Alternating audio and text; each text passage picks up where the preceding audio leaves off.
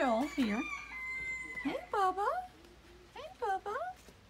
I heard you. I'm so proud.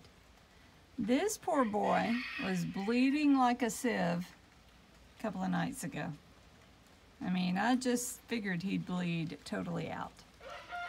So he's been in sick bay ever since.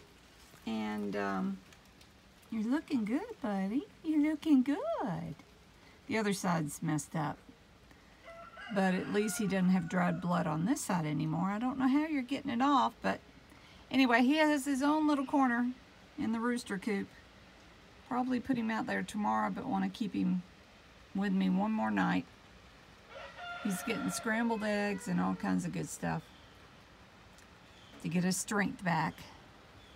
And is that one foot bigger than the other? I'm going to have to check that. Anyway, looking good, buddy.